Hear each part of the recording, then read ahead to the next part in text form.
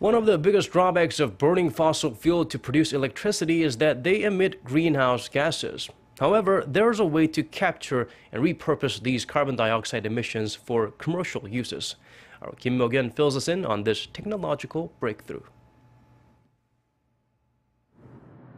Carbon dioxide, also known as CO2, is a main culprit of global warming as it contributes to the greenhouse effect.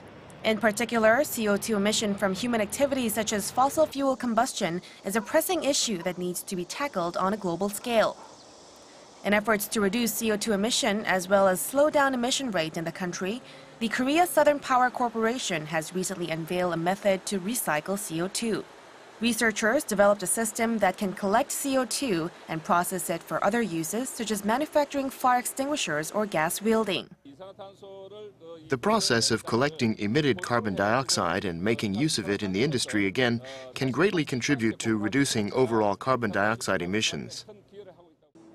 The system, which is referred to as carbon capture and storage, has been done through a wet process in the past, but in 2009, the Korea Southern Power Corporation started developing a dry process that can use solid absorbents to capture CO2 in an eco-friendly way. The process was successfully tested the following year. The energy company agreed to supply the system for use in other industries. The latest development is expected to contribute greatly to reducing emissions of greenhouse gases worldwide by 2050. Kim Mok-yeon, Arirang News.